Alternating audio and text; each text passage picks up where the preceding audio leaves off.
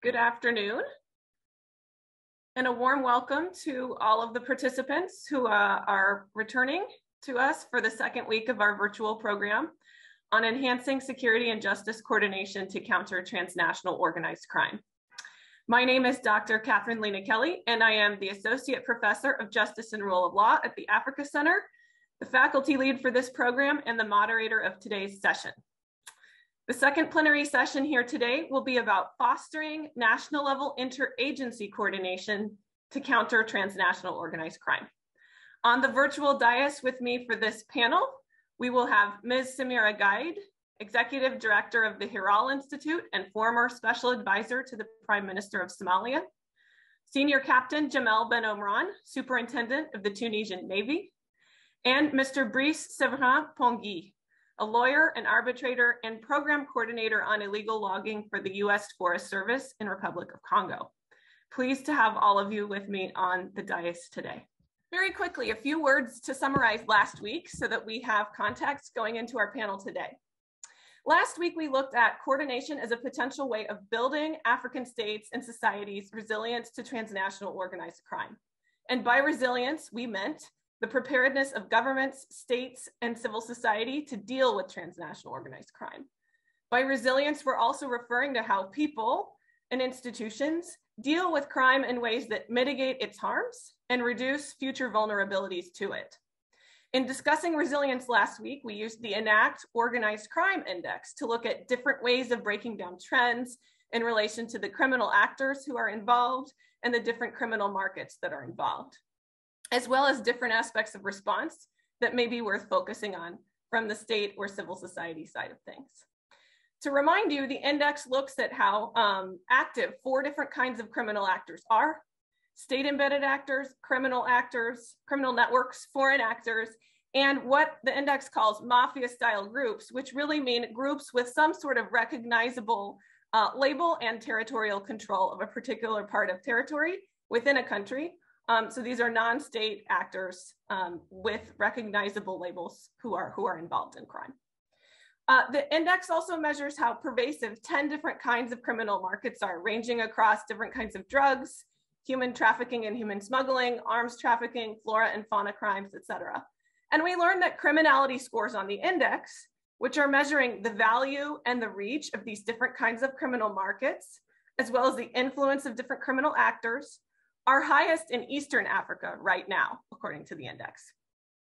The index also looks at different types of response mechanisms for transnational organized crime that together could form a holistic way of addressing crime. So it looks into countries' political leadership, governance processes, laws and policies, financial and security frameworks, justice frameworks and capacities, and civil society activities. And resilience, according to the index, is lowest currently in the Central African region. The resilience factor that's weakest overall across the continent currently is victim and witness support, uh, followed by prevention related activities and government transparency and accountability. And these resilience factors in particular bring us back to last week's presentation about how the underlying incentives that people or groups might have to engage in transnational organized crime relate to development and governance factors, things like the availability of alternative livelihoods to transnational organized crime, things like how legitimate citizens think the state, its laws, and its responses to crime are, and things like how transparent and accountable high, certain high level state officials are to citizens, and therefore how deterred um, they feel from any potential temptations to facilitate certain forms of transnational organized crime. Countries that have high criminality and low resilience scores, this is about 20, 20 different ones, um, according to the index, should be interested in developing or refining policies and strategies that address some of these resilience factors urgently. But even countries that have low criminality and low resilience, this is another um, 30 different African countries scored on the index, should be attentive to these ideas so that they stop crime before it starts and don't create incentives for engagement in it that could foster new security challenges for their countries or regions. So paying attention to these different actors' incentives and how different security, development, and governance uh, factors around them shape their incentives is part of taking what applied researchers would often call a political economy approach to addressing transnational organized crime. And to get us to today's panel, um, this leads us to, to, to come back to one more point from last week. Coordination of security and justice actors is one important way that African states can work towards increasing resilience to transnational organized crime in ways that are accounting for these incentives. The actors often trying to counter transnational organized crime don't necessarily have opportunities to communicate and strategize together, especially when they're from different agencies in the security sector or from different parts of the criminal justice chain dealing with prosecuting transnational crimes, or when they specialize in different forms of transnational organized crime in the first place. So we need to think about how to strengthen existing coordination mechanisms and perhaps um, amongst ourselves in the discussion groups, think about um, new and innovative ways of, of doing coordination in order to fill some of these gaps. And that brings me to the topic of today's panel. Um, the key objectives for the webinar today. We're hoping that um, the panel will provide a greater understanding of why national level interagency coordination, both within and outside of the security sector, is important for countering transnational organized crime. We hope to compare and contrast the perspectives of defense and security, um, uh, military and civilian actors, security and justice actors of different sorts, about the benefits and the limits of coordination of this kind to counter transnational organized crime. And we hope to identify uh, through some of the examples the panelists may provide some key strategy, policy, and technical elements of interagency coordination that could have an influence on African states' resilience to different kinds of transnational organized crime. And with that, I'm very happy to introduce three distinguished panelists that we have um, uh, joining us today for this discussion. First, we have Ms. Samira Gaid. She is the Hiraal Institute's executive director. Samira is a regional and security analyst with extensive experience in Somalia and the Horn of Africa. She served as the former special advisor to the Prime Minister of the Federal Republic of Somalia from May 2017 to July 2020. She led the extensive transformation and reform efforts of the Somali security sector, one of the key priorities for Somalia.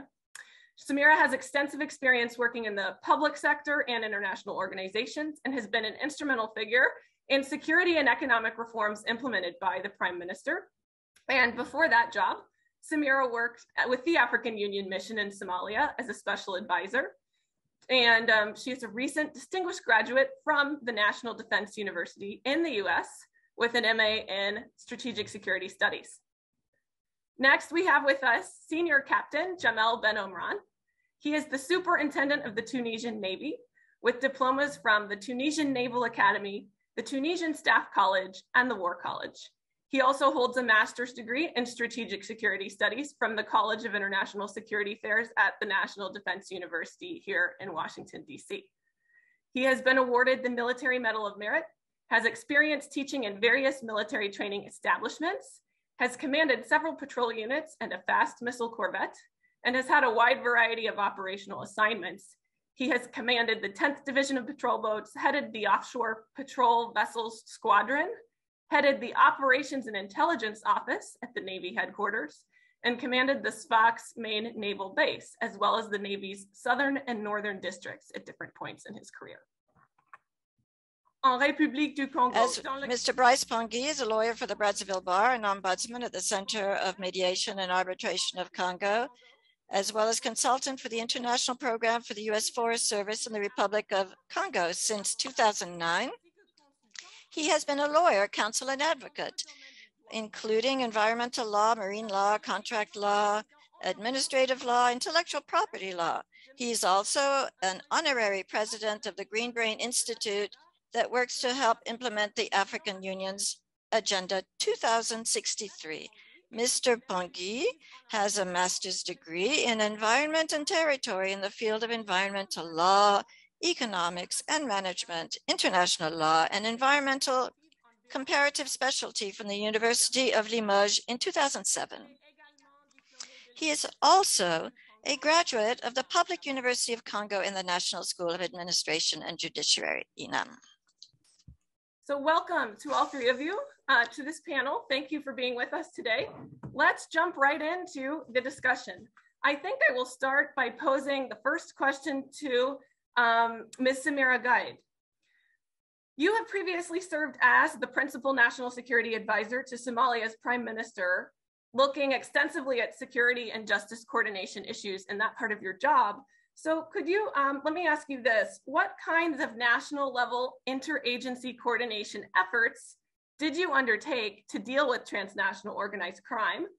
And what did you find to be the principal successes and challenges of those efforts? I'll give you um, perhaps about seven minutes to tell us a little bit about that. Thanks. Thank you. Thank you so much, Kat. Good, good morning or afternoon, depending on where you're logging in from. Uh, thank you for inviting me, and I'm very honored to be speaking with you all today. Uh, as uh, Kat just mentioned, I served as the principal security advisor to the Prime Minister, but in this role, uh, I was also the coordinator of the Security and Justice uh, Cabinet Roadmap that brings together all the re relevant line ministries and security institutions under one cluster. But before I speak on the coordination efforts in regards to TOC, I just wanted to ensure I first put Somalia in context. You know, Somalia's state collapse in 1991 was followed by 10 years of complete anarchy, where countries in the region and the international community uh, attempted to work with the Somali elite and the main power brokers to reinstitute the state. Several reconciliation conferences later in 2000, a transitional national government was formed in Djibouti a president appointed. He returned to Somalia, but the government was not able to take hold. So a second attempt was made, and this was more serious, where we formed the transitional federal government in Nairobi in 2004. And then the president had the hard task of trying to take the seat of government from the international, uh, they were called the Islamic Courts Union at the time, uh, with the support of the uh, Ethiopian military. And that led to really the Al Shabaab insurgency that exists to date. So, with that in mind and understanding the challenges in Somalia are immense, uh, in 2012, um, we came to we came out of this transitional federal governments. Uh, we came into the first, um, you know, internationally recognized government. So we've just had, I would say, um, around eight years eight years of uh, you know state building proper state building the government that was then uh, that then came in in 2012 first focused on completing the federal map because we're now adopting a new system which meant creating federal member states we have five of them now and then this government that I worked with came in in 2017 and came up now with the national security architecture that would clarify the responsibilities between the federal government and the federal member states. And all of this is happening while we also have the Al Shabaab insurgency that we're, we're fighting at the same time. But not alone, we're working with the international community. We have the African Union mission in Somalia. We have approximately 19,000 forces now in Somalia working with the Somali security forces to, to fight Al Shabaab. So while Al Shabaab is the main threat to Somalia's peace and security, the country has really been involved in a very slow and, and painful state building process while fighting this insurgency. So we don't have this robust rule of law systems. The state capacity is weak and fragile, and most of our resources really go to fighting the insurgency and basically just existing, which means wages and running costs to our ministries. So on one end, you have this 15 year old terrorist organization that we're bat- battling that really mainly survives on criminal activities to fund its insurgency. And then on the other end of that perspective, you have a nation that is at the nascent stages of rebuilding its state institutions and has very low capacity to provide basic services, let alone combat um, organized crime. So given that context, uh, the, our main challenge is of course Al-Shabaab and the group itself raises approximately 120 million US dollars a year just through its illicit revenues. They raise this money through extortion and racketeering as well as trafficking. Uh, their main sources of revenue come through taxation of goods uh, through the main supply routes. They have about 120 illegal checkpoints uh, nationwide. Then they also tax businesses and sales uh, sales taxes in the capital and in Kismayo, which is also a port city. They have they collect the most uh, taxation from these two uh, uh two cities. Uh, they they levy zakat, which is 2.5 percent of all wealth. They levy zakat, uh, you know, forcefully. They extort it from uh, the communities within which they they live. And then there's the taxation of contraband goods. And in this in this case, Somalia has a charcoal export uh, sugar um, sugar export, not export, import that comes through Somalia as a transit and goes into the region. And then you have also drugs, but I would say charcoal and sugar would be the main uh, contraband goods that are currently being uh, smuggled in Somalia. And then on the other hand, we also face a very serious challenge in human smuggling. And this, of course, is because of the 30 years of state collapse. Um, there's a migration issue. Uh, people are paying quite a lot of money to find their way out of the country, uh, travel throughout Africa, or sometimes through um, uh, through the Gulf of Aden to, to just make it out of here and, and paying quite a bit through these human smuggling routes.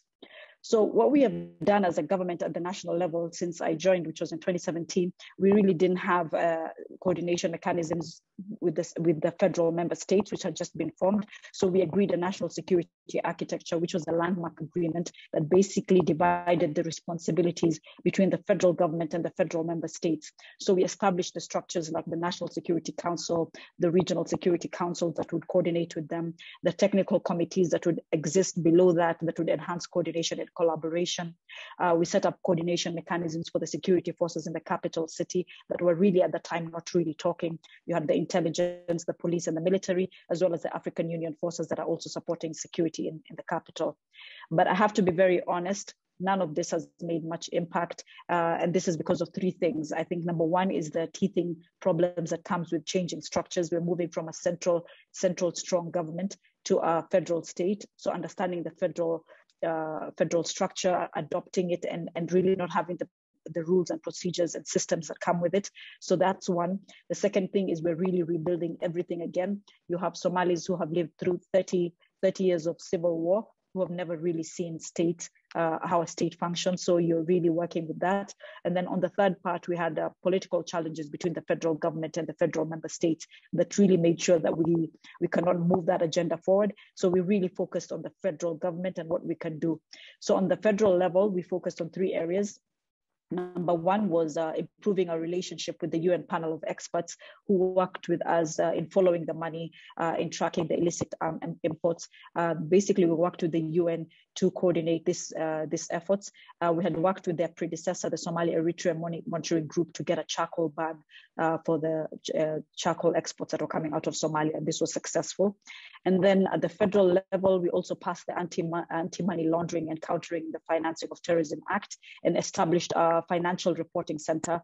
Uh, this, was, it's just a financial intelligence unit, unit that reviews, analyzes, and reports on suspicious and illicit financial transactions. That's also been very difficult to, to work with just because of the systems that we have in play, a business community that is quite strong, government uh, structures that cannot really follow up on uh, you know the business community because of no ID system, no national ID, uh, you know no judicial, no strong judicial service to to really follow up on when you um, when you arrest.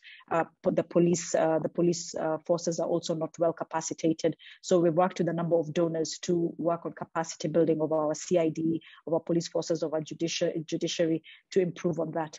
And then finally, we had a special envoy for migration, which is a major issue, and the lady uh, who's in charge of this is sits at the prime minister's office and works on this uh, migration human smuggling issues and has worked quite a bit with UNODC and other uh, UN agencies in, in, in trying to improve uh, our, our systems and structures. So that's where we are. I, I would think not much of a success uh, story, but we're really at the beginning.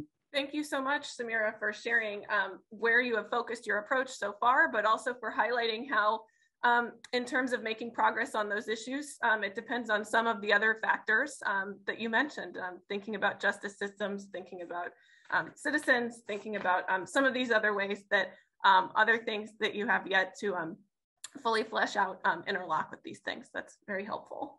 and thank you for the introduction to some of the context in Somalia, which is an interesting case that raises quite a few questions about, um, you know, when we're dealing with fragile states or, or state building um, contexts, how are some of the things that we're talking about in this seminar um, uh, applicable um, in, in, those contexts as well as in places that have not gone through um, quite the same history um, that Somalia has with some of these issues. Great. I think next I would like to turn to Senior Captain Omrane. And let me ask you a, a, question that's similar to that one about your work um, in, in the Tunisian context. Uh, and I will, I think you are going to speak to us in French, so let me pose the question to you in French as well.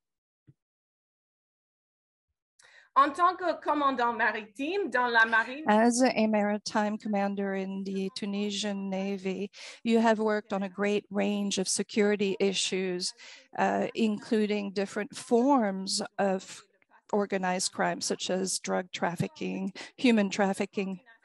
What type of interagency cooperation or interministerial cooperation um, that you have worked on, what kind must be used to um, meet to, to fight against TOC? And what successes uh, have you had? So if you can take a few minutes to talk about your context in Tunisia. Uh, thank you, Kat.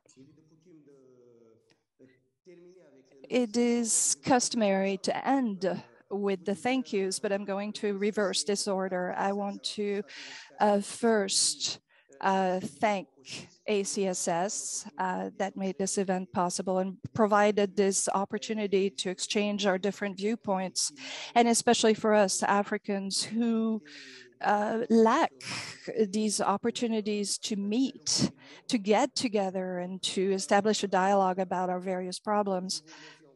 So, thank you once again.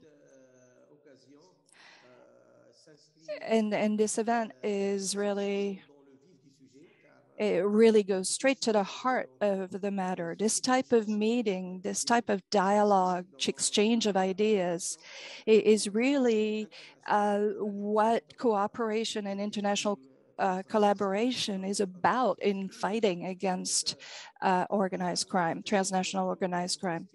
So to answer your question, based on my experience in terms of national security and more specifically uh, in my experience in maritime security, uh, I can say that the sea, uh, with its various spaces that are governed by different rules uh, that exist within international conventions and agreements, uh, having a committee committed forces uh, and and there's also the the fact that there is this freedom that uh, is a problem and an advantage. That the sea is an auspicious place for illicit actions. Unfortunately, there is a, a gap, a vacuum, a legal vacuum. I, I believe uh, that hopefully will improve. And so, uh, for procedures to apply laws, it must be applied so there is an awful lack of specific legislation. And even though there are procedures that are in place, they're difficult to apply, especially in the maritime arena, which is a pretty specific uh, domain.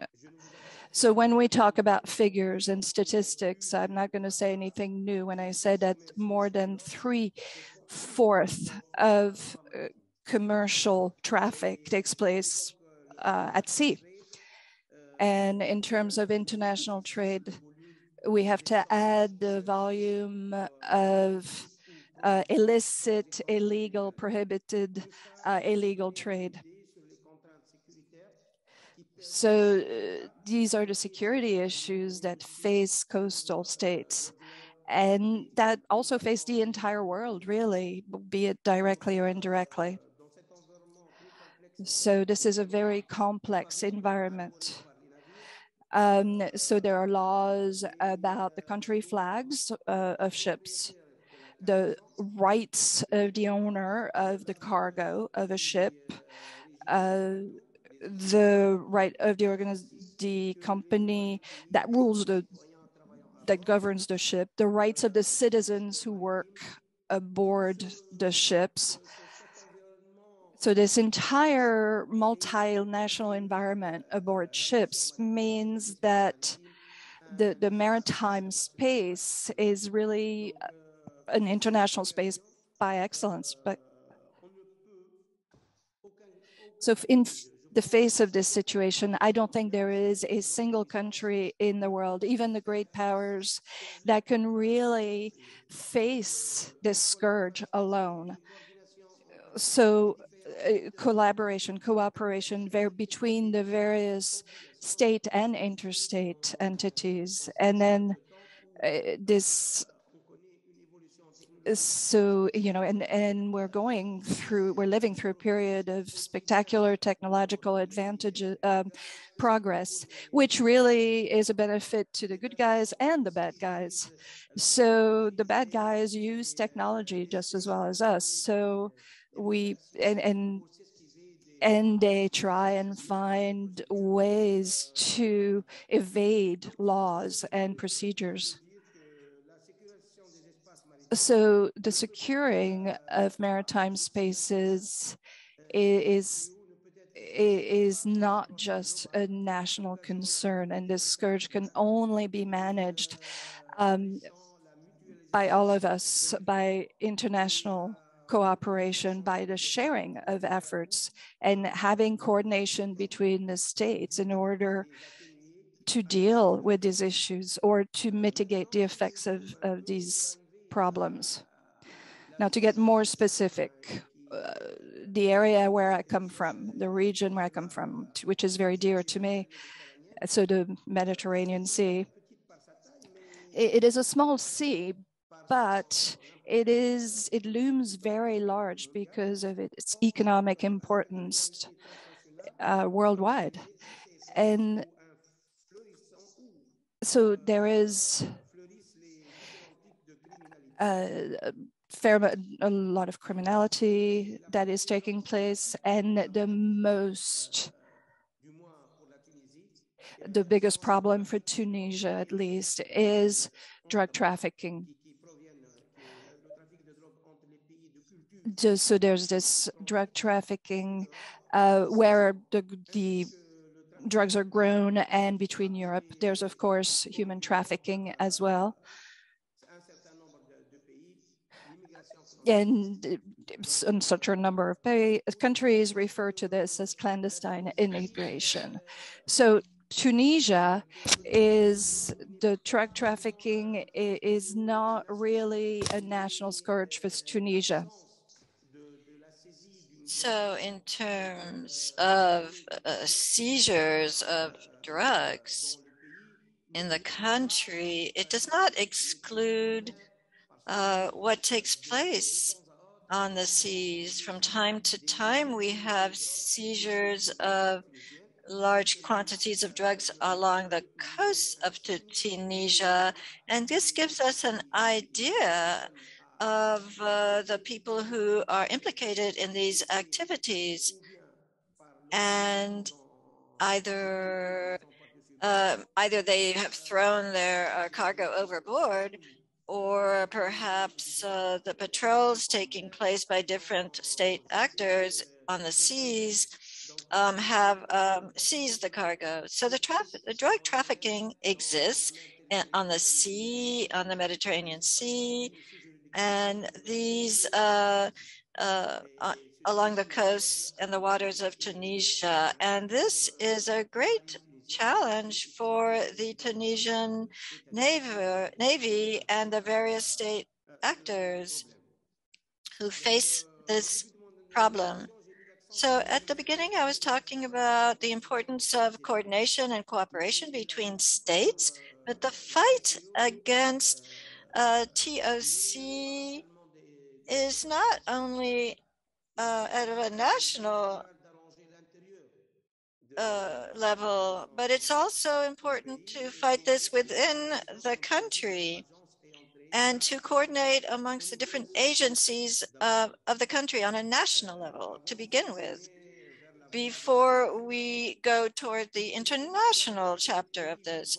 So the countries that are dealing with these problems on a national level uh, must resolve this coordination issue. In uh, Tunisia, we have a conflict of uh, co competence within the different actors uh, for law enforcement. And so we have to adhere to international law, but also we must honor and adhere to um, the sovereignty of the countries, the laws of the country. And at times, this uh, creates some conflict, uh, And uh, there's a prerogative given to different agencies who don't have the means to uh, fight these issues. Some, for example, some uh, state actors have the right to to address the infractions themselves and the uh, guilty parties themselves to uh, ensure that they are honoring their own responsibilities and fulfilling their own responsibilities. There are other state actors who have the capacity and the resources, but they don't necessarily have the rights to um, to put into action to support the uh, Tunisian law to apply them in different circumstances. And so this is an issue in my from my perspective. In Tunisia, to counter this problem, this phenomena, we have taken uh, certain initiatives uh, to try to include as many ministries as possible on issues arriving on the seas and to see how we can improve um, the coordination between the different agencies of the state. To um, implement a national strategy uh, and so that we can better work with the international community and to take advantage of the experience of and resources of others and to to prepare um, also to to to better coordinate with the international community, we had to uh, assemble all of the actors, all of the expertise, the, the, to have a central um, effort. And these efforts have given uh, way to a better coordination at a national level, which is the Secretariat of the Seas, the Ministry of the Seas, and it uh, it's it's part of the executive government, and it it assembles everybody under the umbrella. Uh, everybody's included under this uh, ministry. Uh, it includes, it's a civilian, uh, it includes civilians. It's uh, led by a woman, and I wish her all the best in the world. In her, and this and this work is directly from the uh, head of state under the executive branch. And so the strengthening of these efforts uh, must be done through the legislation as well, the parliament. Uh, we need uh, human resources and the uh, Tunisian army also continues to work with the different agencies to fulfill its responsibilities.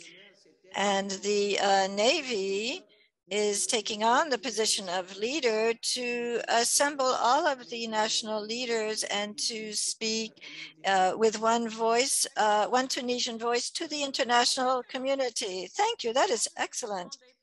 I'm going to ask you perhaps one more minute to resume all this, and then we will continue. Then I will have another question for you later. So yes, thank you to cite uh, to, to the to mention the challenges that we are encountering. They are essentially uh, to to to work together with the international community to bring all of the state actors together to work together the marriage of the different sources of information on an international level to connect Tunisia with different sources of intelligence and not international intelligence to have the means to do so to uh, and to have long-term range goals in time and in space to work together to fight against uh, transnational organized crime. In terms of successes, I can say the two things two two highlights that can uh, we can mention as success stories that Tunisia established a clear structure for the coordination as well as a strategy that was put into place to to to counter this scourge and and we have different uh, arenas of, of, of, efforts. We have identified the uh, the uh, targeted organizations, uh, and we have also targeted different agencies who have different expertise to fight the scourge. Thank you so much, Commander. Yes, you have uh, highlighted very good examples from Tunisia, for the Secretariat of the Seas, as you mentioned. You have also well explained the creation of these kinds of organizations and this coordination must must uh, also be part of a development of a strategy to fight TOC. So we will come back to these themes uh, throughout the session, I am quite sure. I'm, I'm going to continue now with Maître, Master Brice Pongui. May I ask you to take maybe seven minutes to respond to the following question. As we know, you are currently leading an international work group in the Republic of Congo that is working with a whole panoply of actors and of state actors and civil society in the fight against illegal uh, illegal um, logging. And so all the, a number of different ministries are represented and they work together to respond to this illegal logging. Please, uh, we want to know, learn more about it in a few minutes, the details of, of your work and what you believe are the, the biggest challenges as well as your successes in this fight. Thank you so much, Kat, for this opportunity that you are giving me once again to speak, to address, to, to speak of our of our experience in terms of the management uh, of, of, working with different actors. In the case of our project, uh, it is supported by the Forestry Service of the United States and uh, international fight against uh, illegal logging. This project was entitled, was, was was to strengthen the system to detect and to over and for oversight of the forestry in Congo and to find mechanisms uh, to also work with our neighbors, Cameroon and Gabon. As you mentioned, it's, uh, it's a multi-actor uh, endeavor multi-state endeavor. We have the agents that represent the forestry ministry, the uh, financial minister, ministry, the um, the the national finance uh, investigative arm. We have Interpol working with us. We also have uh, civil service organizations working with us.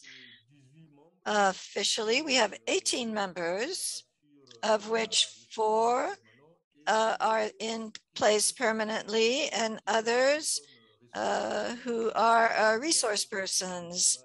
In this uh, task force, there are women, there are young people, more seasoned people, and this task force is uh, aims to to achieve the objectives that we have, and it is a framework that offers all of the participants to to get uh, better trained, to receive training.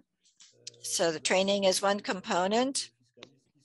We also have the uh, people from the tax department who are uh, uh, informed on forestry issues and vice versa. We also have justice um, in, who also um, are, are part of this and part of this training to uh, on this uh, forestry commission. So it is uh, this work group, this task force is a is an opportunity to share uh, skills, to share knowledge, to share ideas, to share um, intelligence, to share knowledge, and it allows us to do so uh, because we are, of course, unfortunately living still under a culture of secrecy. Uh, and so this group tries to counter that by by strengthening the the um, idea of working together and sharing information. This work group also gives us the opportunity to mutualize um, their efforts to to put into practice what they know. So it's a very unique experience that has never been undertaken before. Um, we did this uh, against poaching once before, but it did not last so long. Uh, perhaps there was a lack of uh, good faith or finances, but this group was created uh, at a ministerial level in 2020. And so there is a certain basis, foundation for this group that is more solid and it gives it legitimacy to be able to act uh, in terms of, uh, uh, for example, having forestry audits to better have over have better oversight in the forest regarding illegal logging and um, and also and also uh, there's also investigative efforts to to know why certain things are taking place. So here's what I can say in terms of the composition of this task force and, and, the, and the work that it accomplishes. Excellent. Thank you, Maître Brice, uh, to have, for having introduced this multi-actor uh, task force, and that includes the security sector, the justice sector, as well as forestry agents, um, representatives of, of trade, uh, say Interpol is also involved. So I think that this method of, of accomplishing forestry audits together uh, in the hope that this will increase the sharing of efforts among these agencies and that it can also operate as a place to have a dialogue, a, a greater dialogue. So we will see how this project evolves and what uh, you will share with us during the second round of questions and, and let us know what we can learn from this example. So now I'm going to go around the table once, one more time uh, with each panelist. So I will now go into English for the first question for Ms. Gaid. Okay, so um, Ms. Gaid, uh, I would like to ask you a second question now. Um, sometimes national level interagency coordination can be horizontal. So we're looking at how leaders of different ministries coordinate with one another. And sometimes it can be vertical. Um, there are elements of how senior and junior officials within any ministry hierarchy or across it might work together uh, to get something done in the domain of organized crime. So given those um, two concepts, what specific aspects of horizontal and vertical coordination have you been involved with in your career? And do you have any advice to colleagues who may be trying to use these different methods to deal with complex problems or, or challenges related to transnational organized crime? And again, I'll ask you to take um, about seven minutes. Okay. I don't even think I'll take that long.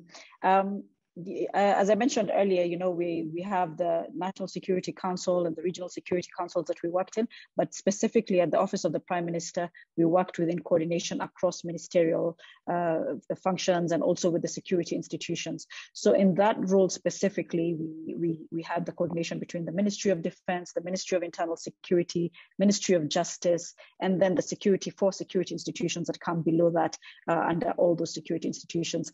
And I would say that um, that coordination system re, uh, process that comes through the office of the prime minister worked better than if the ministries were coordinating on their own, just because you had the higher up, the office of the prime minister coordinating that.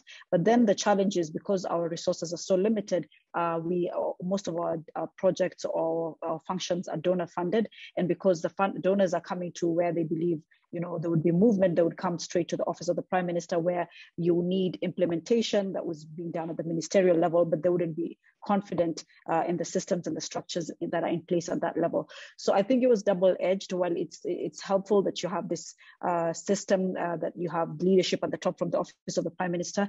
In a, in the case where there's limited resources, the resources are only going to the top, and yet the functions are being handled at the bottom. And so then you had that challenge all the time and the competition between the ministries. Um, you, uh, one big challenge we had is like the office of migration that sits sat in the office of the prime minister, just because the lady that was working on that needed that proximity to get things moving. Um, it caused a conflict between that office and the office uh, and the Ministry of Internal Security that is really uh, mandated to, to be conducting these tasks. So just because our context is different, there's, there's the challenges that come with whether going with a bottom bottom down approach or a bottom up approach. So that was one thing. Uh, the second thing is now with the, you know, uh, within within the, the security institutions, we had the Ministry of Internal Security come up with a coordination mechanism with the ministers of internal security in all the federal member states and the police commissioners in each of the federal member states and the federal government would sit together and also sit through this coordination mechanism. We had a lot of partners, uh, the US INL office, uh, UNODC, working on capacity building, uh, the CID, the investigation units, and all the, the police uh, departments so that we could begin to start to investigate. Uh, I don't think we expanded out during my time to the judiciary, but it was just at the police at the time. That's very interesting. So you started looking at institutions within the security sector with the idea of eventually expanding out to linking up security with justice. Very, very, very interesting um, to know that that's um, part of the strategy. Um, and you make um, very interesting points that I think will come up again about um, resources and how resources flow through hierarchies and how that can affect coordination, horizontal or vertical as well. Um, so thank you for describing that um, scenario and, and some of what you were involved in while you were in, in the government, in the office of the prime minister. Excellent. Um, thank you, Captain Omrane. I have a similar question for you. What is your experience in these two realms? First, horizontal coordination and vertical coordination uh, within the framework of this fight against transnational organized crime in Tunisia? And do you have advice for your colleagues in terms of these coordination methods for this fight against TOC based on your experience? I will ask you to take about seven minutes uh, to speak about this topic. And the approaches are the same, I would say, but the way we act is a little, it, this, the, the way we act is different from one country to another. And as uh, Mrs. Gaid said, uh, we are on the same path in Tunisia. There is a National Security Council that at the political and strategic level orders passes the orders and and supports the hierarchy, what you're calling horizontal coordination. And it relies essentially on uh, the establishment of a climate of trust among the different partners so that so that we can uh, arrive at fluid circulation of intelligence and the use of common networks that work on uh, a continual basis. So all actors must speak the same language and help each other. And as um, Uh, and as was said, it, it, means that there there must be symbiosis from the symbiosis from the top to the bottom between the different ministers, and this is accomplished by the National Security Council, which harmonizes, coordinates the actions of the state through the representation of the various ministries within this National Security Council. So the success of the this coordination work um, relies on information sharing, the immediate sharing of information and, and, on an ongoing basis, the continuity of the cooperation of various state actors uh, over the long term. So essentially optimizing means, uh, especially for countries with limited resources. They really need to think carefully about uh, resources that coexist within a, a, single space to, to, to do one one task. So we really have to establish coordination between the various actors in order to establish an action plan that can essentially cover all maritime spaces that are under Tunisian sovereignty or jurisdiction. And so to do this, it is imperative to have a dialogue that goes from top to bottom and, and that, that everyone be coordinated, uh, all, anyone who has work to do in this realm. And now in terms of vertical coordination, it, it is the key to success, in my opinion, for all ministerial institutions. We must encourage sort of this flattened leadership, horizontal leadership, uh, which promotes efficiency and speed, uh, rather than, than going through this whole hierarchical system, uh, be it military hierarchy. In ministries, there's always a hierarchy that in some ways um, slows down the execution of missions and actually the, the ability to react to to react to uh, groups uh, in, in that criminal groups. Now, of course, there's the use of technology and information sources and communication um, sources. And this is this flattened leadership. And this comes under what you talked about um, for this vertical coordination. We must uh, break down obstacles. We must have more flexibility. We must have more direct contact, especially for operational situations so that we can achieve greater uh, reactivity and greater efficiency. Now, in terms of advice, uh, if I may, if I may provide some advice, uh, some advice to, to our audience, I would say seize opportunities uh, to boost uh, vertical and horizontal coordination, or be it regional, worldwide, because coordination is to our advantage. Uh, and this uh, works uh, for the state. We have to seize these opportunities where an opportunity presents itself uh, to bring all the actors together uh, so that they can, within one space, um, meet and uh, learn to know each other so that they can break down procedural obstacles and hierarchical obstacles. A second piece of advice, if I may, it's the division of um, essentially these uh, feedback, you know, these after action reports between the states and, and between the interministerial actors who share the same values and who and they need to act together in this fight against TOC because uh, the, the, momentum is not on our side. Uh, the uh, actions taken within TOC is beyond imagination in many ways. And the third and last tip, advice, is the adaptation of legal tools for public agents without affecting human rights values. We, we must arm um, state agents with efficient and up-to-date tools so that they can be protected. But at the same time, we must always take into account human rights. Thank you. Thank you very much for the, this advice.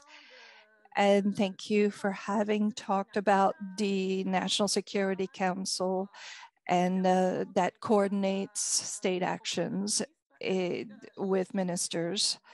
And uh, thank you for what you said about this flattened leadership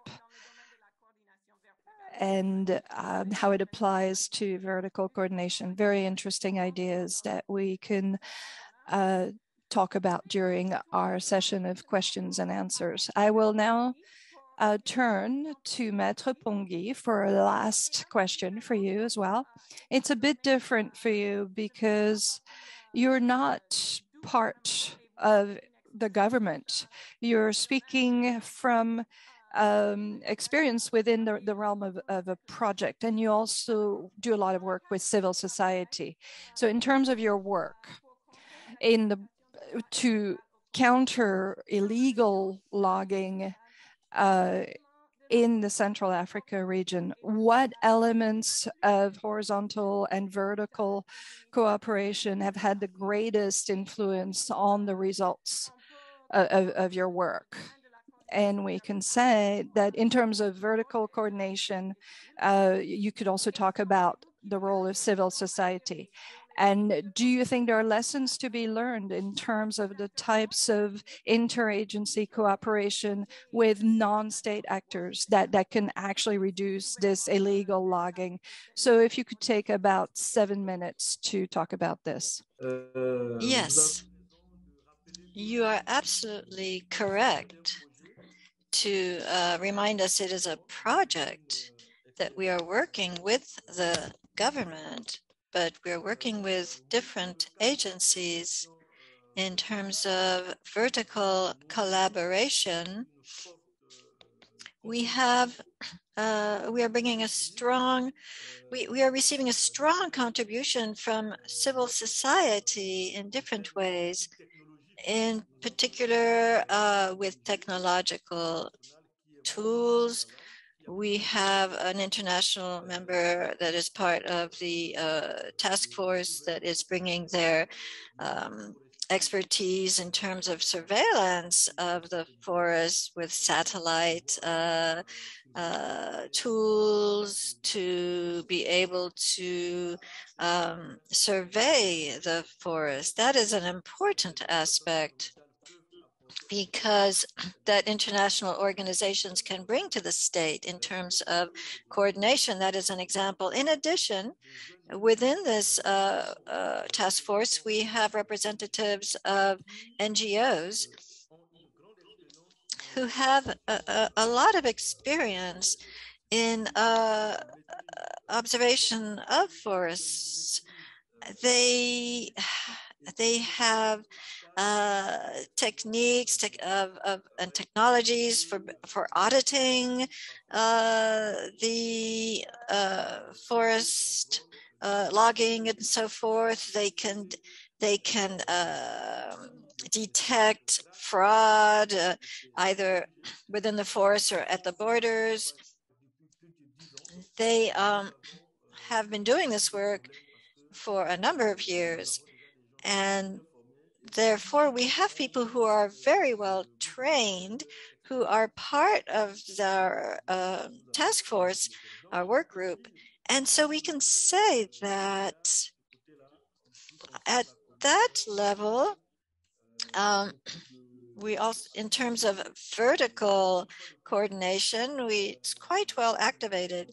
But as I was saying earlier, we are always facing this issue of the culture of secrecy, one uh, a, a, a, task force uh, with multiple actors, some of them perhaps do not have the same approaches, the same modus operandi. So we have some, uh, we have civil society that is very dynamic that uh, in terms, whenever there's a case uh, of fraud, they are uh, ready they, to, to sanction the guilty.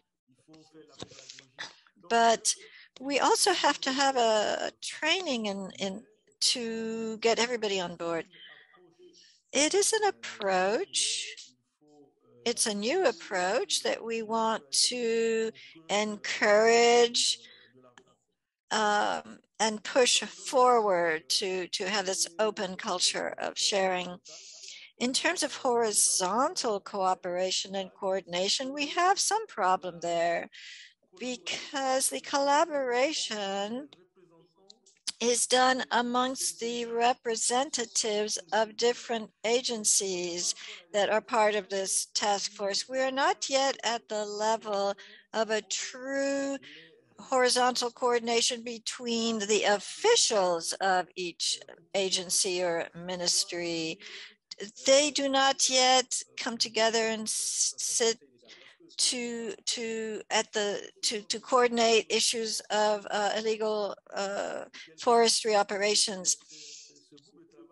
So it would be good if this workforce, this work group, if it were attached to uh, uh, more of a government uh, entity. So it right now it is only the uh, Ministry of the Forest, the Forestry Ministry that is that is uh, really uh, overseeing these issues. But if this work group were attached also to legal entities, there would be it could also it could collect information but also have a more direct access to the judiciary so that actions could take place on the ground in reality. And if if and if if uh, decisions or outcomes do not come swiftly uh, it it uh, the flow of information is going upstream, but truly what we can learn from this is we can see how can we make connections between this task force, this work group, to um, to the ministries, to the agencies, and, and have coordination at that level. So this is what I have to say in terms of vertical as well as horizontal coordination. Thank you so much, uh, Maître, for having described uh, where you hope your uh, task force will go in the future in terms of its organization and coordination of efforts. Thank you so much.